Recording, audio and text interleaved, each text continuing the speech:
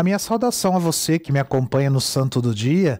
E hoje, dia 4 de agosto, a igreja celebra a memória litúrgica de São João Maria Vianney, o cura d'Ars. Ele é padroeiro dos sacerdotes. Por isso, hoje é o dia do padre. E João Maria Vianney, ele nasceu no dia 8 de maio de 1786, no povoado de Dardlin, é, que ficava, ficava ali no norte de Lyon, lá na França. Seus pais, Mateus e Maria, tiveram sete filhos. Ele foi o quarto. Gostava de frequentar a igreja e desde a infância ele dizia que desejava ser padre. Vianney só foi para a escola na adolescência, quando abriram é, uma escola ali na sua aldeia. Escola que, ela, que ele frequentou por dois anos apenas, porque ele tinha de trabalhar no campo. Foi quando se alfabetizou e aprendeu a ler e a falar francês, pois em sua casa se falava o dialeto regional. Para seguir a vida religiosa, São João Maria Vianney teve que enfrentar muita oposição de seu pai. Mas com a ajuda do pároco, aos 20 anos de idade, ele foi para o seminário em École, onde os obstáculos existiam por causa de sua falta de instrução. Foram poucos os que vislumbraram a sua capacidade de raciocínio.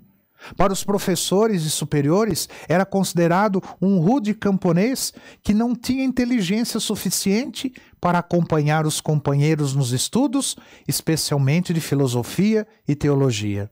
Entretanto, era um verdadeiro exemplo de obediência, caridade, piedade e perseverança na fé em Cristo. Em 1815, João Maria Vianney, ele foi ordenado sacerdote, mas com um impedimento. Não poderia ser confessor. Não era considerado capaz de guiar consciências.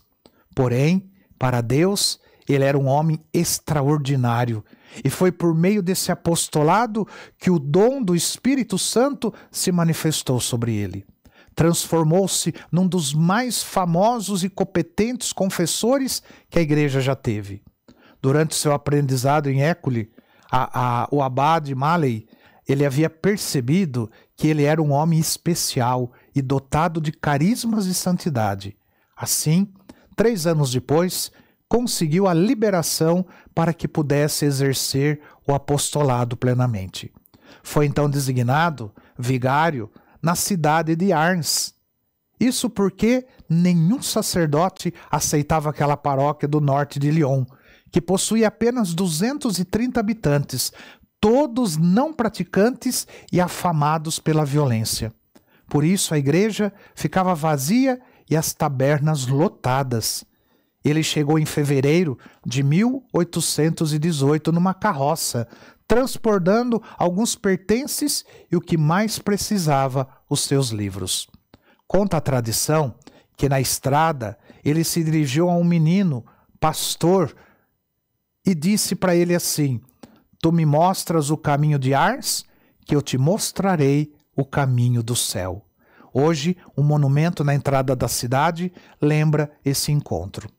Treze anos depois, com seu exemplo e postura caridosa, mas também severa, ele conseguiu mudar aquela triste realidade, invertendo a situação.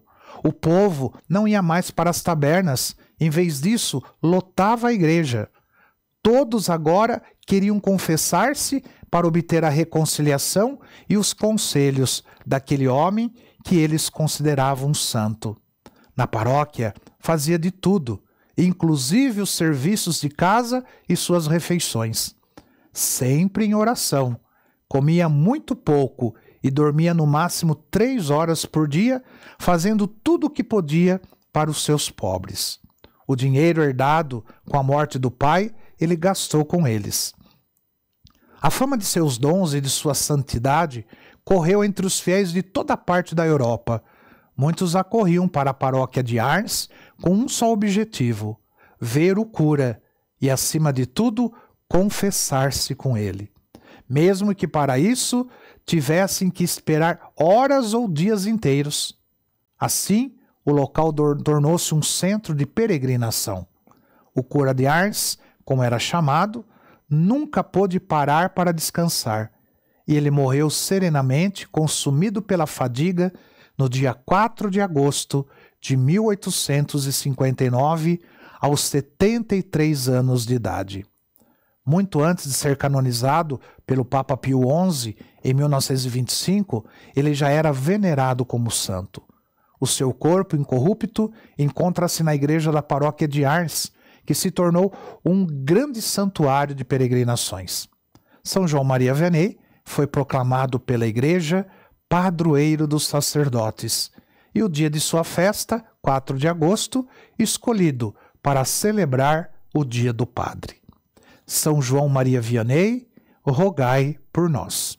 Que o Senhor te abençoe, em nome do Pai, do Filho e do Espírito Santo. Amém.